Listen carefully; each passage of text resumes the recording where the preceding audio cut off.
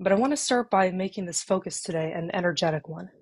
And the main thing to focus on is, of course, the nature of energy, because it seems like one of the main hot topics right now is the nature of reality and really understanding the mind bending nature of reality in a more subjective way.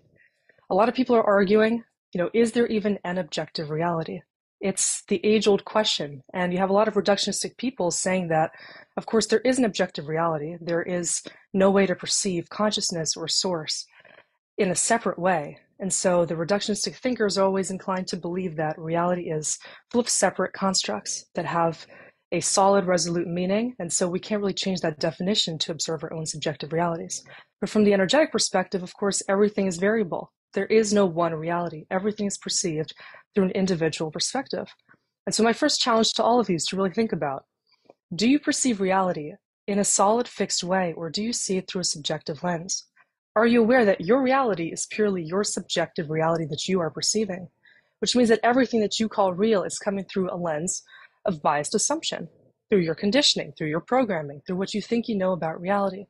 And arguably, you and I perceive reality in an entirely different way. There's no way to know for sure that you and I see even certain fixed constructs in an identical manner, because there's always this aspect of the experience which is just based on prior assumptions. It's the meaning that you assign everything happening in a subconscious manner that determines the way that everything appears to you. And so the deeper question then is what things are you currently battling, which you believe is part of your reality that is unchanging or maybe cannot be fixed by you, that actually is a constituent of your individual perspective? Maybe that thing is just something that you are more solidly attached to in a way that then evokes resistance. And this brings us to the deeper questions of the things that we might be in resistance to that we think are in reality that cannot be changed by us. For example, an illness, certain factors that are outside of our conscious control, that we believe we don't have the free will to even change. How do we know for sure that that is the case? The deeper layer then is thinking about why do we think that these things cannot change in our reality? Because as soon as we attach the layer of the resistance to what is, we find ourselves perpetuating that resistance. And so, what I want to draw your attention to is the subtle layer of the energetic definition that you prescribe all these different variables in your reality, whether you like them or you don't.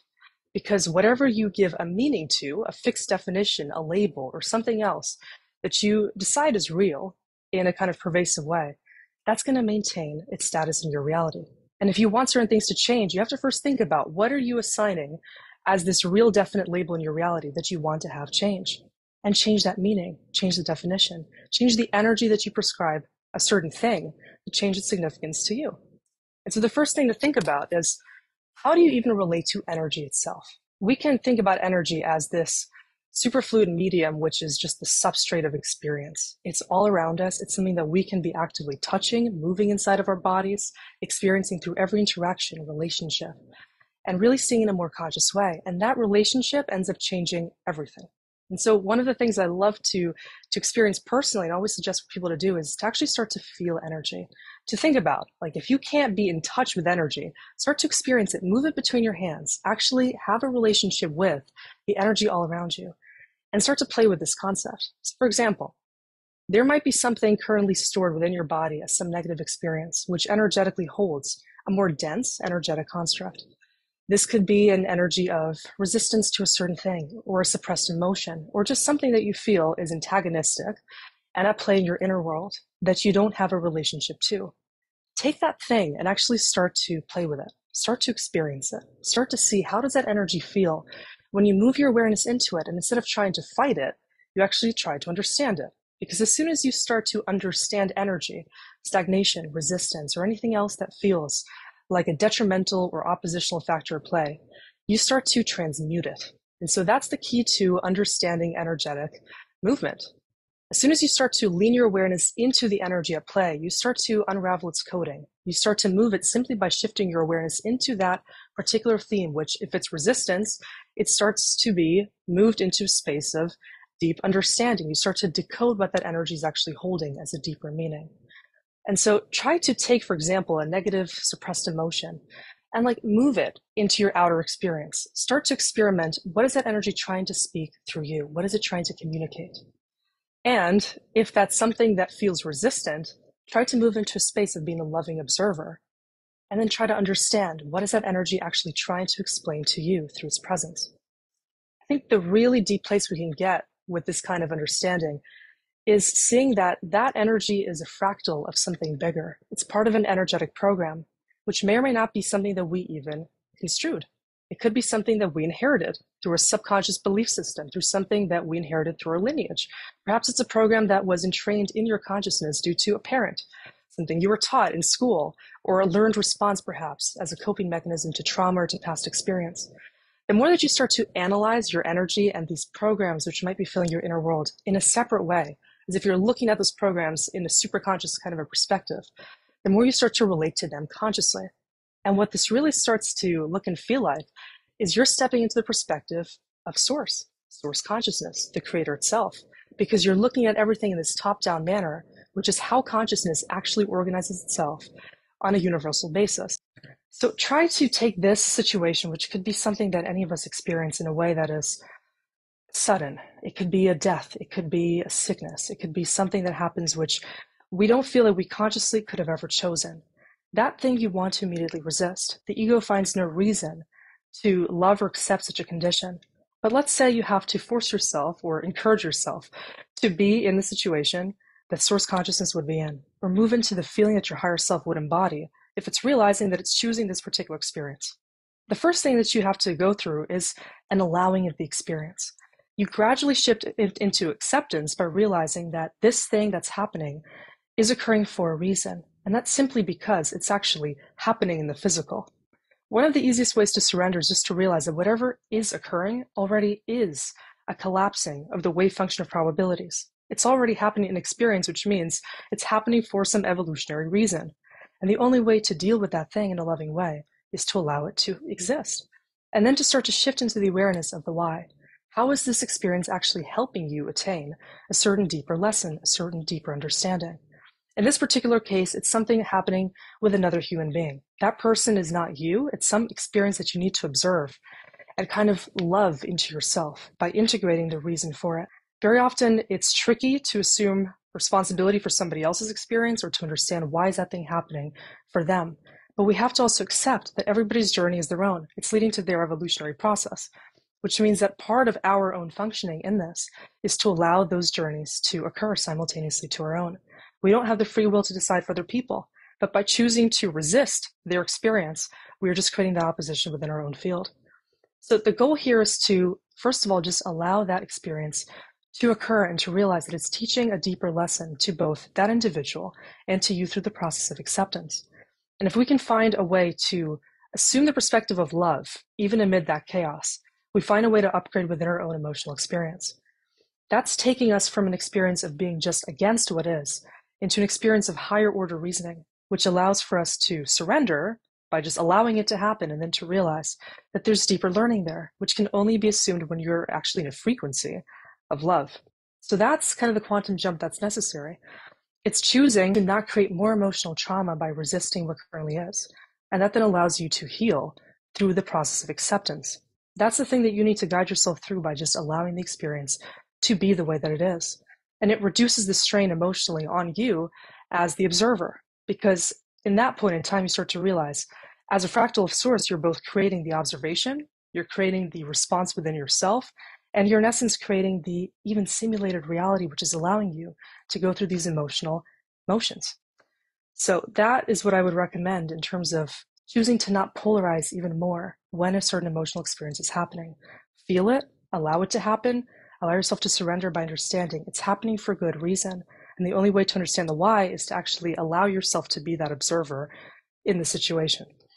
So, of course, it's easier said than done, but it's something that requires a deep somatic, I feel, integration of that learning. So, that's something that is energetic practice that we can train ourselves to do. One of the very powerful techniques I also recommend for people is to choose to go completely inside yourself whenever you're going through something very polarizing. So when there's an emotional experience, instead of choosing to detach from it or distract yourself or do something that leads you away from what you're currently going through, try to go so deeply into the emotion that you allow almost like a supernova to occur within your physical being. Go through whatever it is, whether it's grief or resistance or fear, Allow yourself to be consumed by the emotion so that you can actually allow it to work its way through you and then eliminate the need to fragment from it. because the most of the trauma that we experience is simply because we choose to distance ourselves from the root cause of the particular originating emotional experience.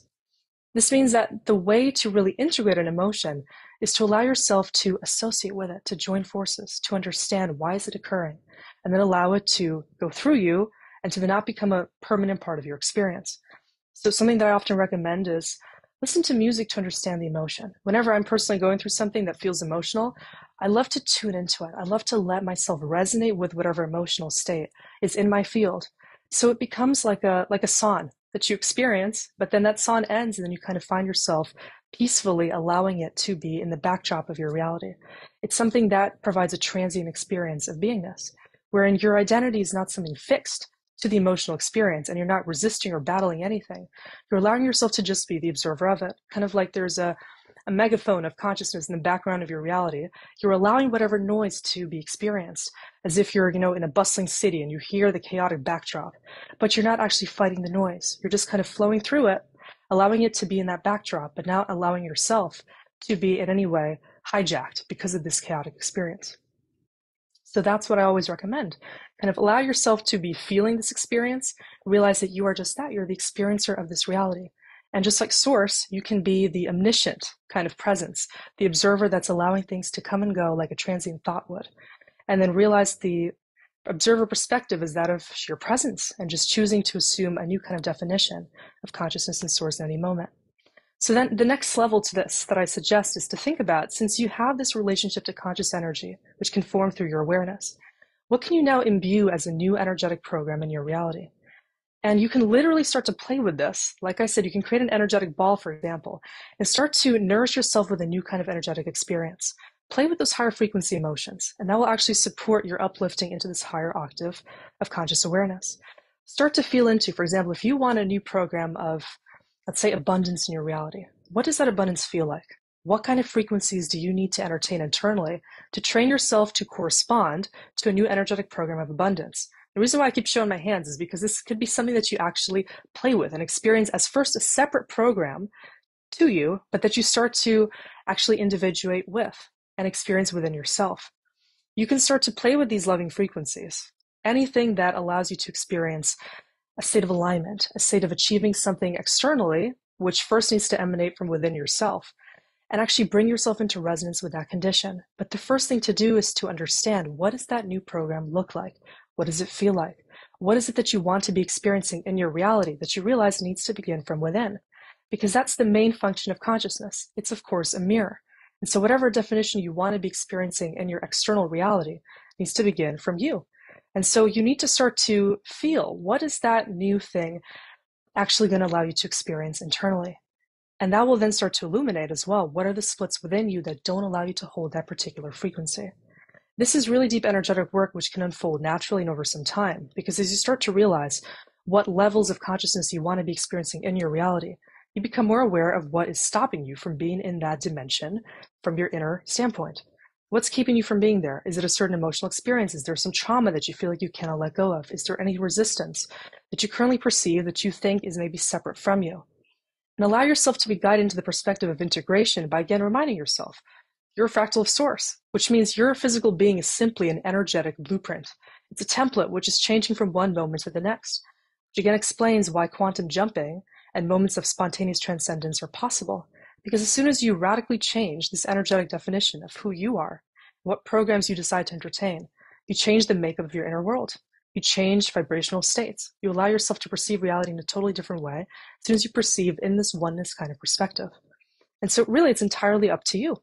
It's also something that is illuminated in the field of epigenetics, which I love so much and I think is a really good explanation for these concepts because the more that we ruminate on the potentials that are fixed in our even genetic blueprint and we think that we cannot escape because maybe something passed down in our family or maybe it's just a historic kind of representation that we're feeling and reliving in our subconscious minds we feel there is no way to transcend a programmed nature of the self but then that self really is something that is another program I mean, this gets really existential if we think about the concept of the self really is just an illusion. There is no true fixed self. The self is just a definition, a word in the dictionary that somebody decided to prescribe some meaning to. As soon as you give that self a new kind of meaning, it could be more health, more coherence, more abundance. You can break any kind of generational pattern by assuming the responsibility of that pattern breaker and creating a new definition which allows the self to transcend and to evolve into a higher archetype. And so that brings us to this understanding of also the higher self, which is an archetype of freedom, fluidity. It's the soul in physical form. And that soul is the closest that we can really get to, I think, to the understanding of source, because the soul is unbound by these human constructs and egoic definitions, which are limited in nature. So think about what would your soul want you to be experiencing in the human form? And how does, or maybe how doesn't yourself currently entertain those possibilities? If there's anything you currently believe is attached to your definition of self, which can be an interesting exercise to also do to think about what is yourself, to write down those qualities, traits, characteristics, which are keeping you in a certain box of conforming to your physical identity. Are those things actually conducive to your growth, to your evolution, to your frequency of love? Or are those things binding you to certain distorted programs, keeping you stuck to either generational trauma or conditioning or different patterns which are actually keeping you in an attached loop? So this is the aspect that is entirely up to us. As soon as we see these elements and patterns, we realize there is the opportunity to break whatever cycle, to introduce whatever new program and definition, to make ourselves feel free.